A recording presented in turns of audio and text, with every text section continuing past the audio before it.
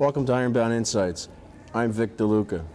Tonight we're going to talk about the Thomas Street problem. We were back three months ago and we spoke about this. It's an abandoned factory in which there's thousands of barrels of uh, toxic waste. And we have three people who have been working on the issue that will be sharing some information with us. We have Joe Nardone from the Thomas Street area residents, Roger Watson, who's the principal of South Street School, which is adjacent to the area, and Arnold Cohen from the Ironbound Committee Against Toxic Waste. Joe, you were on three months ago, and uh, you talked about the problem, and you, at that time you were having, uh, you had had a demonstration, and um, you were having another one, and uh, you were going to go to court. Where are we right now with the whole problem? Okay. Well, now it stands is that the residents and their lawyers went back to court, and in May, the judge put the uh, DEP in charge of the situation because the owners were not effectively cleaning up the building.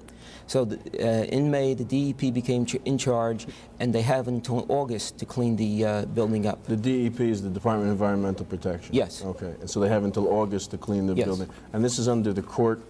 Order. Order, so yes. the court is watching? Yes. We, we have a, uh, our lawyer, who's a, a, lawyer out of the Public Advocate's Office, uh, keeps us informed because the DEP sends her uh, status reports and then she sends them to us, and then if we have problems, we can go back into court to tell the judge what we're up against. Mm -hmm. And are the residents going to the court? Yeah. Uh, it must be daytime. It must be hard for some working people. Yes, uh, it's just that uh, people who can make it, a lot of times the uh, uh, women who are involved while their husbands are at work, or some of our retired residents, we go to court and we try to show the judge that we are supporting our uh, lawyers in this case and that we're very concerned about what is happening in our area. Has there been any reduction in the waste? I mean, the number of barrels has been has it gone down some since the well, fire? Well, it's supposed to have gone down, and then we, then it always kind of picks up a little. But since the fire, uh, they reduced the uh, from 20,000 containers or something down to about uh, I have a list here uh, 12,000 various containers. They're in a size from one pint to 80 gallons. So there's still 12,000 yes, containers there. Yes, and if these are uh, made into an equivalent of 55-gallon drums, there's an equivalent of 4,000 uh, 55-gallon drums still in the building. Let me ask you, Mr. Watson, uh, Joe presents a, picture that really hasn't improved that much. There's been some, some uh, effort, but it hasn't improved that much. You there with the children in the school. How many children go to the school? Uh, 430 children. And what is your concern? How do you see the school and the school children relating to this uh, factory here, this abandoned building? It's extremely important for two reasons. First of all, the building itself is less than a city block from the school itself. Secondly, adjacent to the building and across the street on both sides, there are houses mm -hmm. all along on both sides of the street. Many youngsters play in the area, the place is not effectively guarded. As a matter of fact, a few months ago, a young man came into my office about 9.15 in the morning with first and second grade youngsters who had strayed into the building on the way to school. They were actually in the building? The actually apprehended in the building. These are small youngsters. We have kindergarten youngsters also mm -hmm. in the area. And of course, there are, there are younger children who live in the area and obviously, since parents are not going to be holding children by the hand, uh, and there's no guard there, there was no guard there at the time, there's not, nothing to prevent these youngsters from going into the building and becoming involved with the toxic wastes. And the children are naturally curious That's correct. I have children of my own, and I know that's only natural for children to be uh, that way, They want to explore. That's correct. And this is not the place for them to explore. But there is, there's no guard there now, Joe? Well, they do have, I've seen one security man, mm -hmm. but they don't have an effective uh, force like two or three men. So I really don't know how well the building is guarded. Well, that's uh, a huge building, so even if they had one person, the children could go in different areas yes. and, and get into the building. How about the broken windows? We had talked last time about the broken windows. Well, they haven't been repaired. The most they've done is, is put a plastic or uh, orange tarpaulin in front of some of the windows where the fire had, had occurred because that's where they're broken the uh, most. But uh, they have not been replaced. And the Newark Fire Department went around and counted over 800 broken windows in the building. Still to this day? Right, which have not been repaired. Arnold, the Committee on Toxic Waste has, has been doing a lot of effort in the, in the neighborhood to clean up a number of uh, places, and this is one of them. What about the fines? We talked last time that the judge was going to impose some fines on the owners of the building. Problem is, is that the fines are a joke. Fines, the judge finally imposes his fines after the owner of the building is no longer part of the case, after the judge orders the Department of Environmental Protection to come in and take over. Problem is, people who are supposed to collect the fines, Department of Environmental Protection, traditionally don't collect their fines. So what's being set up in the state is a precedent where these companies know, like this company, they can operate illegally and then get away with it. Nobody, you know, their fine is minimal compared to the amount of business they were able to do while in operation. And nobody's been gone, nobody's went to jail. There's, there's, if they don't pay, they don't go to jail. There's, no, it's, it's uh, sort of business as usual. We'll try to collect the fines. 90% of the fines they never collect. And that's why Cigno, who's the company who originally owned the chemicals, never cleaned up during the nine months that they were in charge. They knew they could sell off the chemicals, they could operate their business, and not bother with the cleanup because nothing was going to happen to them. And, and is, uh, what, are, what are the residents and other community people doing now to, to uh, monitor the situation? Okay.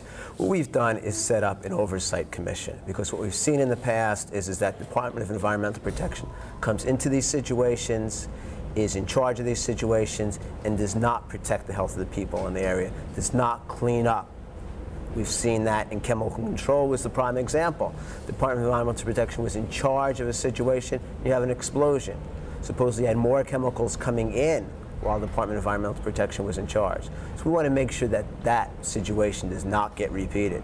And the way to do that is to bring together all the different aspects in the community that are affected. Mr. Watson is a principal of a school. We have Sister Mary Walters, another principal in a Catholic school in the area. We've brought in somebody from who's a one of the community organizers, Sister Jacinta Fernandez, familiar with the Elizabeth chemical control situation, a representative from the senior citizens in the area, so that effectively we've brought together all those different interest groups to look at the Department of Environmental Protection and to keep a close eye on what they're doing. And that's what's real important, is to let them know that they're being watched, and if we don't, if we see that there's something wrong going on, we can go straight back to the judge and we can yell. So you're going to, the judge is going to have another hearing in August, and yeah. that's when the building, he, uh, let me see if I can put words in the judge's mouth. He's going to sit there and say, okay, tell me if the building's cleaned or not. Is that right? Yes, that's the way I understand it. He, by this August date, the building should be cleaned up. They should have moved the chemicals out. Those 12,000 yes. containers of yes. chemicals. Yes. Are the residents there happy with that? I mean, this has been going on now for, I believe you had a, a year anniversary uh, demonstration to show that this has been going on far too long. So are the residents happy that this keeps getting postponed? No, they see. This is the thing: is that uh, you get the sense of frustration among the residents because uh, it's been a year. As Arnold had said, fines, uh, minimal fines are imposed. Nobody really goes to jail for breaking the law. Uh, the DEP just doesn't come in and move those chemicals out to a safe area, then, then, then worry about disposing them. And people get very frustrated and very, you know, cynical because they don't see an effective government or police action on the, uh, on the site. But yet you've been able to maintain that cohesive group as hard as it might have been. Yes. Over a yes. long haul, because it seems that you've been growing. I know Mr. Watson's involvement now, and you've obviously gotten more parents involved and teachers and students. I think that's important, especially for our viewers. That I guess the point is that any of these things, it takes a long struggle. Um, unfortunately, uh, the system doesn't move uh, quickly enough for, for the need. I mean, they should have cleaned it up. I mean, the point that you made three or four months ago, it yes. should have been cleaned up immediately. Do you find more people at the school are aware of it and willing to be involved now because of uh, the danger that it poses? Yes, I think the awareness, the fact that I've gotten involved and I work closely with Mr. Cohen, and the whole idea of the waste in general. Mr. Cohen, for example, came to my school. He, the nurse invited him. He gave a program concerning um, the matters in general, mm -hmm. and that kind of help to bring about an awareness in terms of the Thomas Street situation. I think one of the things, though, with the publicity that it received in the newspapers, people in general presumed that because of the priority in making the front page of the newspaper, uh, once it disappeared out of the papers, people presumed that the matter had been taken care of. Uh, most people generally have, have trust in the agencies that have the responsibility of taking care of these things, especially in light of what has happened in the last two years in New Jersey. And um, I think that when it became uh, public knowledge that a year had passed, uh, as Mr. Doan indicated, uh, people just could not believe it because they see the residents, the houses, children playing, and, and uh, finding out that they're explosives, they're dangerous, deadly chemicals, there for more than a year. So people are frustrated because they can't seem to get a handle in terms of who is actually responsible. You have the state, you have DEP, you have the private industry, the, the owners. It seems as though the business uh, persons who own the place would take the community responsibility and say, okay, it's in our best interest to get it out, in addition to the residents.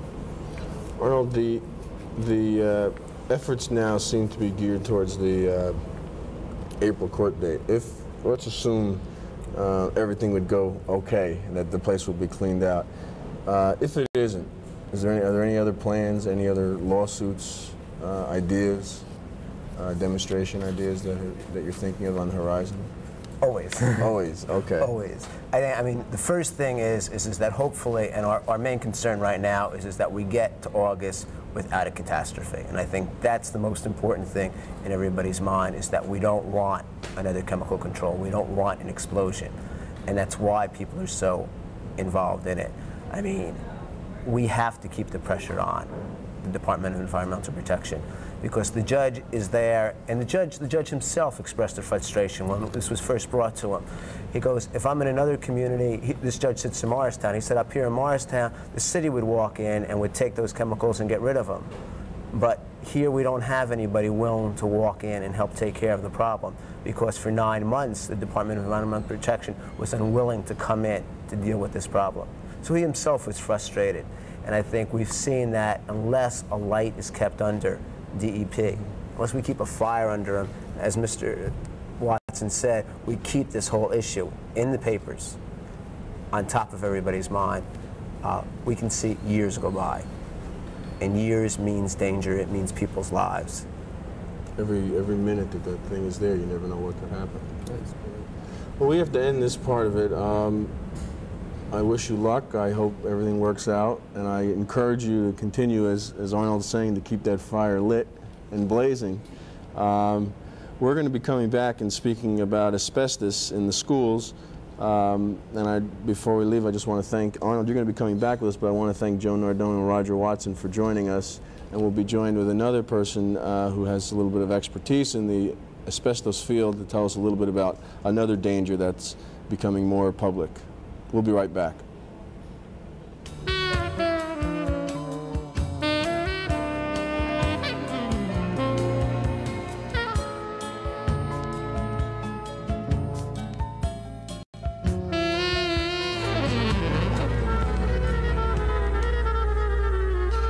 Good evening. We hope that you are enjoying this evening's show. We also hope that you find our shows interesting, informative, and helpful. We welcome any comments about the shows you viewed or any suggestions you may have for future topics. We would also like to receive a listing of planned activities so that we can include them on our calendar. We'd like to hear from other Ironbound groups, organizations, and clubs. Please contact us at the listed address. Ironbound Insights, 95 Fleming Avenue, Newark, New Jersey, 07105.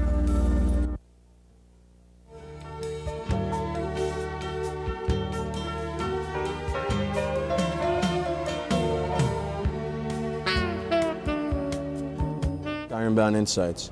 We're going to talk about asbestos in the schools. And we have Arnold Cohen, who's from the first part of the show with the Ironbound Committee Against Toxic Waste. And we're, we're joined by, with Miles O'Malley of the White Lung Association in New Jersey chapter.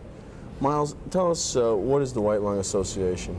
Vic, the White Lung Association is an organization of asbestos victims, people who have been exposed to asbestos and many of whom, I'm very sorry to say, are currently diseased and dying from asbestos-related disease. Asbestos is one of the most potent cancer-causing substances known to man, and unfortunately it pervades our environment generally, and doubly unfortunately, it pervades our schools, and it poses a tremendous health hazard to our children. The association that you're with, that both the workers that used to work in the asbestos plants and people who may have come in contact it yeah, the development of the White Lung Association kind of takes shape uh, based upon the environment in which it finds itself. For instance, in Brooklyn, our membership is primarily former Brooklyn Naval shipyard workers.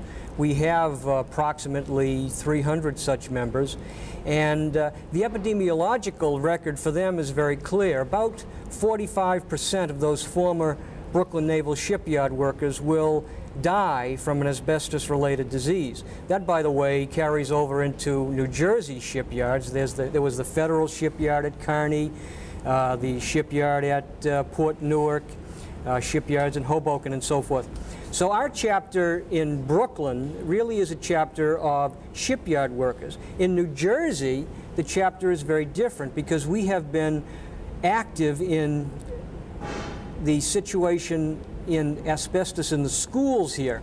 So our chapter in New Jersey is primarily composed of concerned parents who have been engaged in one form of uh, battle or another trying to save their children from asbestos exposure. How did this asbestos get in the schools? Well, asbestos is, uh, it, it, has a kind of a dual function. It's both uh, magic and tragic. The tragic aspect of it we know tremendously well in the White Lung Association. The magic part about it is that it's impervious to heat, and it therefore was a, an absolutely wonderful uh, insulating material. And in fact, uh, uh, at the beginning of the Industrial Revolution, with the uh, initiation of the steam engine and so forth, the various parts of the engine had to be sealed. And initially, they attempted to seal those parts with rags and straw and corn cobs and just about every imaginable thing. And uh, finally, um, what they hit upon, well, actually, it wasn't they, it was a man named Johns, uh, Mr. Johns, who uh, is the Johns in Johns Manville. And uh, I might say, uh, uh, peripherally that uh, Mr. Johns died of an asbestos-related disease. He really used asbestos uh, initially in that way, as an insulating material, as a gasket. He, he uh, created the first asbestos gasket, and that was the beginning of his fortunes. And he hooked up with another gentleman by the name of Manville, who was a little better heavily uh, capitalized. And from there, we have Johns Manville. And they were a maker of asbestos yeah. products. All asbestos uh, now appears uh, in over 3,000 products uh, in the in the uh, consumed by U.S. Uh, people and, and, consumed by people around the world. It's that magic substance. It's used uh, for many many different purposes. Arnold, how has the asbestos problem been discovered in the Ironbound? Has, is there a problem? Um, we at the Ironbound Committee Against Toxic Waste were contacted because it's a problem in the schools. And in the Newark schools. In the Newark schools. So that throughout the Newark schools, uh, uh, there's been surveys that have had to be conducted under federal mandate, and they found asbestos.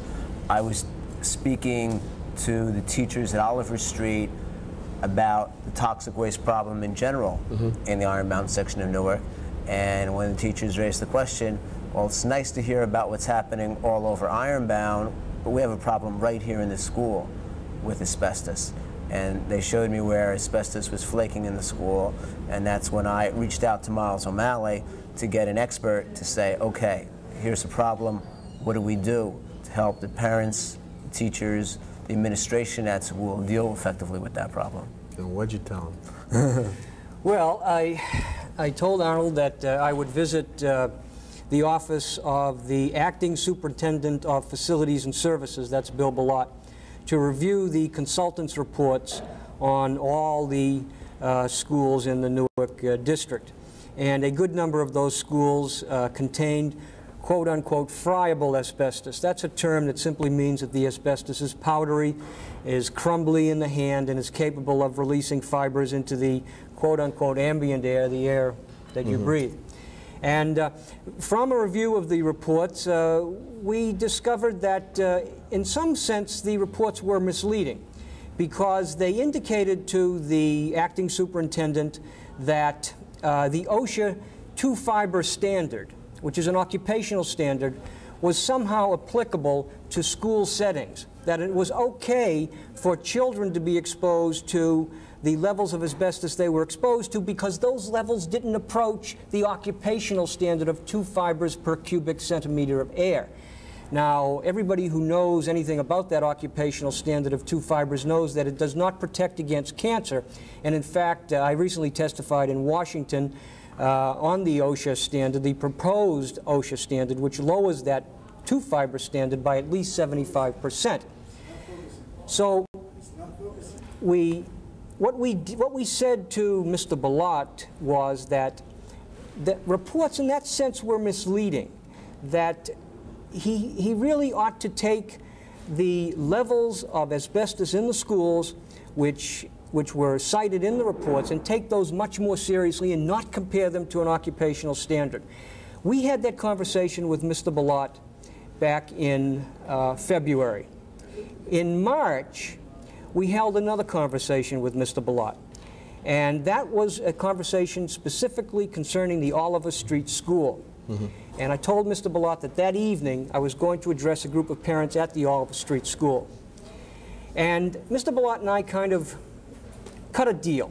And what, if, what in effect we said was, we're going to take care of the problem at Oliver Street School. We're going to do the following. Number one, we're going to get high efficiency particulate absolute vacuum cleaners in there, very special vacuum cleaners, to clean up the school. We're going to initiate a program of wet mopping.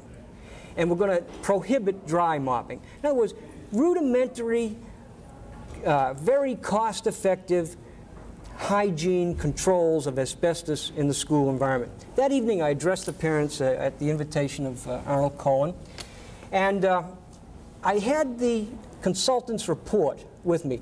One uh, section of the report indicated that there was some vandalism at a pipe around the boys' room. This report was done in 1982, by the way. At that meeting that evening, as I addressed the parents, prior to the time I addressed the parents, mm -hmm. I went to the boys' room and I saw a pipe right adjacent to the boys' room, about six feet off the ground, in a large three-foot section of asbestos insulating material was missing from the pipe. It was very clear to me what had happened. The children, as they went to the boys' room, would jump up, smack the pipe, dislodge the asbestos, and therefore get a tremendous dose of asbestos. This was brought to the attention of the Superintendent of Facilities and Services in 1982. In 1984, that pipe had not been corrected. I took 20 or 30 parents and marched them past that pipe to show them the seriousness of that situation. The following day, many of them called the office of the superintendent. The problem was not addressed until well into May. Even the hygiene tech, hygienic techniques which we recommended, wet mopping, the prohibition of dry mopping, and so forth, as far as I know, were never instituted at Oliver Street School. And this kind of leads us to our conclusion. We're very worried now because of that history that the abatement process, the process by which asbestos will be removed from the schools this summer, will not be done properly. Mm -hmm. Because we don't have a record of trust here. Mm -hmm. And that's what we need. And what we need also is parent involvement in this process. Were, did the parent, after the parents saw what you showed them um, around the boys' room, did they get a sense of what you were talking about? They most certainly did, and it, it was a very clear example of what we were talking about because you could see over the years how the small children, as they went into the boys' room, actually, you know, would jump up and dislodge that material. The, the, the piece of insulation that was missing was directly adjacent the door of the boys' room. Mm -hmm. We're almost out of time. Arnold, the, the, you're working with parent groups down there? Yeah, and I, I think what's, what happened was is that the parents got promised and Easter vacation, we're going to take care of the problem. So the parents felt very good. We had a victory, we won. Easter came, problem wasn't taken care of. Parents again started complaining, and well, we'll take care of it under this, over the summer. And I think they've got they got put off by the promises. And so right now the big question is going to be to see what happens in the summer, and parents are watching very carefully. A lot of the parents during the school year refuse to let their kids go take gym class mm-hmm. because of the asbestos in the gym. So parents have taken actions, and the big big time out right now is going to be the summertime. Okay, we have to conclude. So, but I want to be clear to the people who may be watching. They they need to be involved, both. Uh, to make sure it gets cleaned up, but it gets cleaned up the right way. Absolutely correct. It's a public health problem. Our experience is that when the parents have been involved in it, it's done properly. When the parents, Vic, have not been involved, it's a so-so situation. Okay. Thank you, Miles O'Malley and Arnold Cohen, and thank you for joining us on Ironbound Insights. Again, this show is brought to you on Channel 26, the public access station, and it's sponsored by the Ironbound Community Corporation. This month, it's only being shown once because of the summer holidays, but back in September, we'll be on the second and fourth Thursday of each month at 5 and 8 p.m. on Channel 26. Thanks again.